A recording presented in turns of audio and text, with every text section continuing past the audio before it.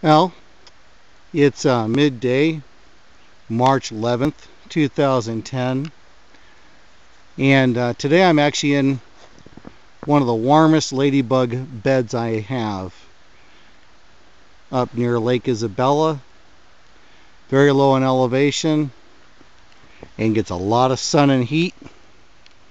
And there's still a good six to eight inches of snow on the ground. And I gotta tell you, one of the coldest mid-Marches I've ever been in this area.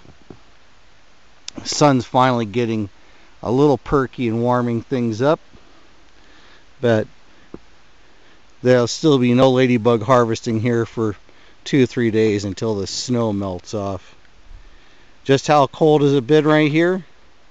Well, as the evening cold sets in, it's made these nice little icicles and many people ask, well, how cold is it before it's too cold to put my ladybugs out?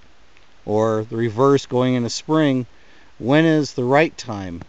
Well, really, any time where your plants begin to show new buds, even though it seems very cold out, you know, might be well below freezing at night, that's the perfect time to put them out.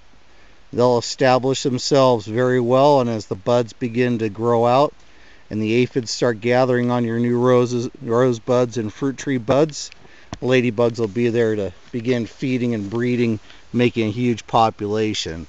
The worst time, although it still can work, the worst time is to wait until it's in the high 80s or low 90s and your plants are covered in aphids.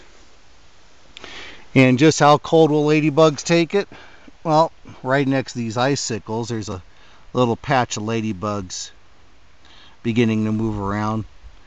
And no, they didn't.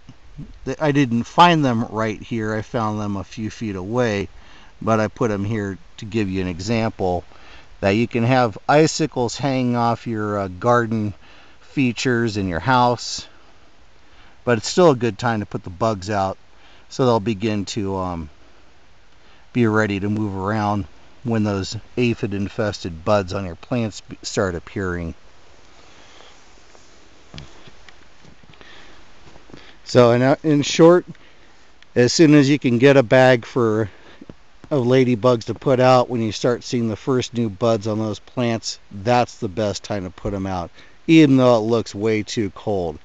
They have a different uh, biology than you and I, and when it gets that cold, they just go to sleep and they'll wake back up a few days later, or even a few hours later.